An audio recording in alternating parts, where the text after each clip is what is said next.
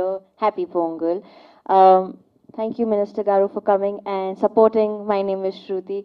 Uh, मैं ज़्यादा नहीं कहूँगी uh, मैं चाहती हूँ मेरी फ़िल्म बात करे I am very very excited for this film Prabhakar sir Omkar sir thank you for making me part of my name is Shruti शायद ये मेरी फ़र्स्ट रिलीज़ होगी 2020-22 की एंड फिंगर्स क्रॉस्ड फ़िल्म अच्छी है uh, बस आप सबको पसंद आनी चाहिए एंड आई एम श्योर हम सबने बहुत कोशिश की है।